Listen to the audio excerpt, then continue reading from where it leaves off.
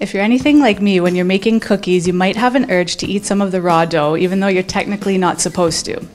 Well, the people at Bliss Dough have figured out a way for you to have your cookie dough and eat it too. Oh, and did I mention they deliver until 1 a.m.? I'm sold.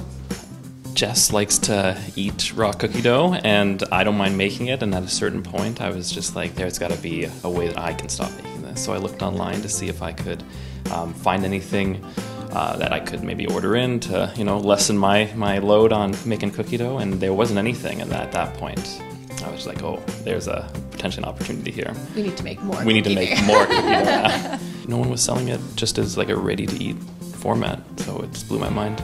So, students have been a big part of uh, the customer orders, right? Oh, for sure. I think it, I'd say, just guessing, 80 to 90% have been just students that uh, are either studying, so we'll deliver to the library or the dorms.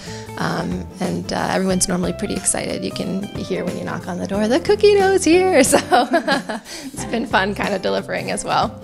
So right now we are delivery only. Um, so people can go online to our website at www.blissdough.com and they can select um, a time slot that they would like their order delivered. So we do tend to fill up pretty early in the day. So if you do want it earlier on, you're going to have to order pretty early.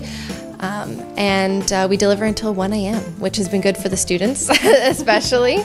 Um, but we've also had a few orders where, you know, people are worried they're, they're not going to be home or they're going to be sleeping, and they just ask us to leave it, you know, on the doorstep. One was behind the lit up Santa. Let's just hide it behind there. So we'll do that too, exactly.